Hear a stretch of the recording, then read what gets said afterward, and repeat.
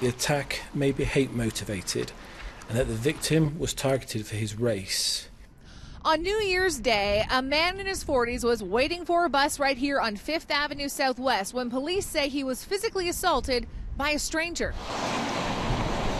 A nearby Calgary Transit bus driver witnessed the incident, called 911 for assistance, and rendered first aid to the victim. The victim, a male in his 40s, was taken to hospital in a serious but stable condition.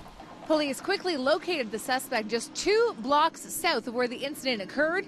They took him into custody and charged the 28 year old man with aggravated assault.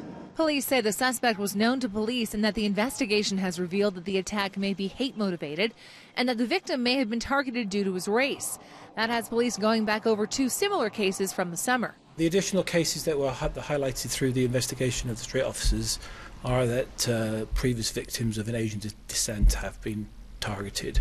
So, with that and a description, we are now looking at those cases on top of this original case. In Canada, suspects are not charged with so called hate crimes or offences. Any evidence of hate motivation is brought forward after a suspect is convicted. I'm satisfied that we have sufficient evidence to, at the sentencing stage, to be able to int- introduce that, that hate bias at the sentencing stage, which is where the hate crime legislation in Canada come, comes in, into play. The 28 year old man will make his first appearance in court Friday. In Calgary, Tara Overholt, City News.